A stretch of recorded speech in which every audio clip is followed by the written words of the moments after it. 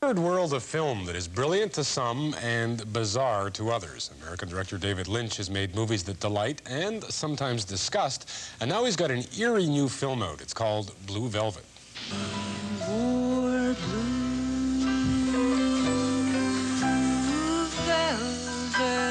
With his current movie, Blue Velvet, Lynch takes us into the strange, subconscious world of his other films.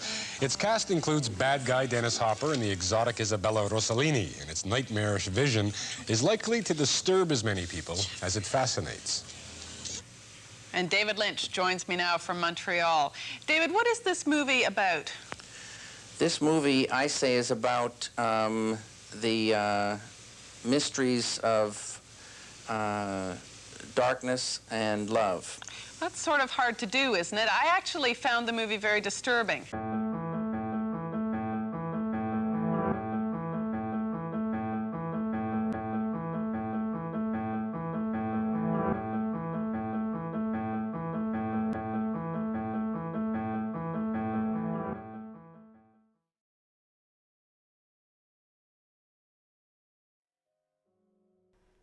Surrealist filmmaker David Lynch's fourth feature film, Blue Velvet, follows Jeffrey Beaumont after he finds a severed ear in a field. Jeffrey brings the ear to Detective John Williams and reconnects with the detective's daughter, Sandy, who mentions a possible connection between the ear and a lounge singer, Dorothy Vallens. Jeffrey and a reluctant Sally hatch a plan to uncover the truth behind the ear, which includes Jeffrey infiltrating Dorothy's apartment posing as a pest exterminator and stealing one of her house keys.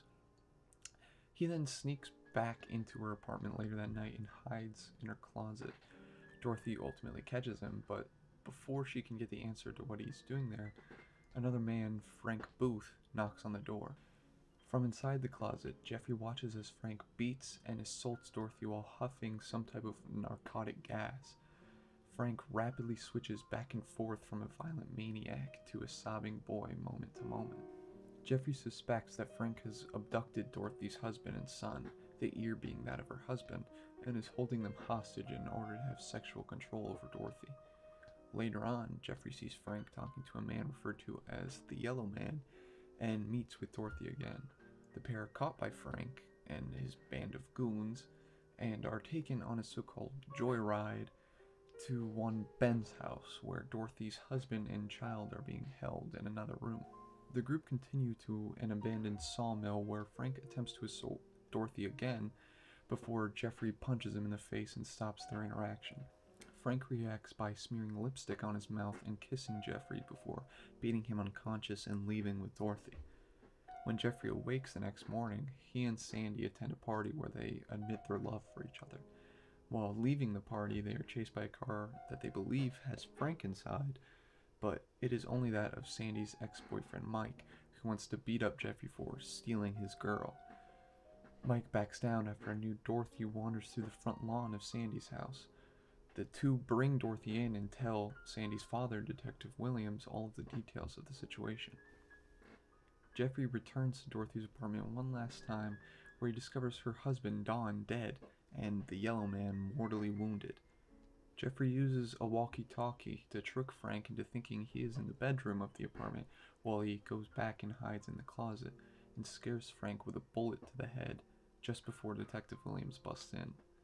The film concludes with Dorothy being reunited with her son and Sandy spotting a robin, a reference to an earlier conversation she and Jeffrey had. One of the first pieces of confusion for an audience member is likely that of the ear. When asked in a 1986 New York Times interview why he chose an ear to be what Jeffrey finds, Lynch remarked, I don't know why it had to be an ear, except it needed to be an opening of a part of the body, a hole into something else. The ear sits on the head and goes right into the mind, so it felt perfect. As an ear can be an opening to the mind, Lynch dives into that opening and examines the human psyche through these characters. Similar to most surrealist works, Lynch follows the ideals of psychoanalyst Sigmund Freud, and Blue Velvet is an excellent example of this. Freud theorized that the human psyche is composed of three parts the id, the superego, and the ego, each of which can be followed throughout this film.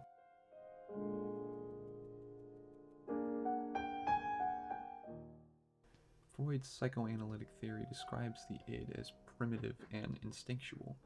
It is the part of the mind that contains sexual and aggressive desires.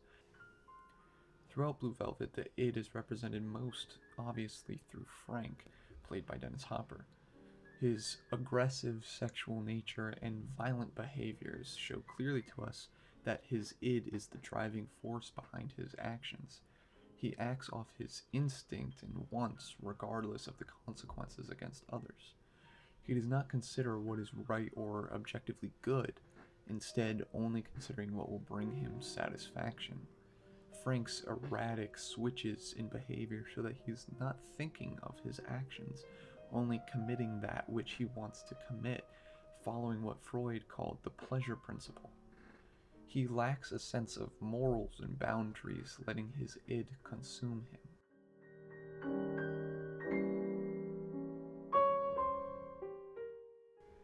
The superego is best represented by Laura Dern's character, Sandy. The superego is the second part of Freud's unconscious mind and represents our self criticisms and moral values. It is what drives us to do right.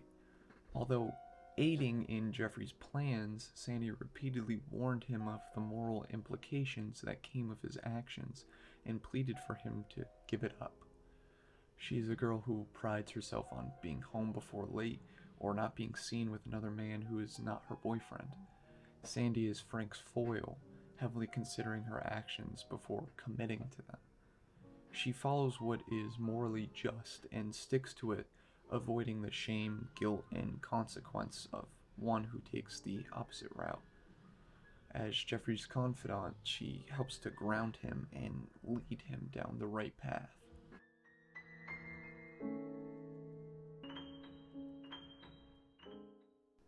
Representing the final part of Freud's psyche, our only conscious part, the ego, is our most complex character yet our protagonist Jeffrey.